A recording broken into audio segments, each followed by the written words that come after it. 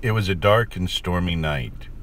The rain fell in torrents, except at occasional intervals when it was checked by a violent gust of wind which swept up the streets, rattling along the housetops and fiercely agitating the scanty flame of the lamps that struggled against the darkness.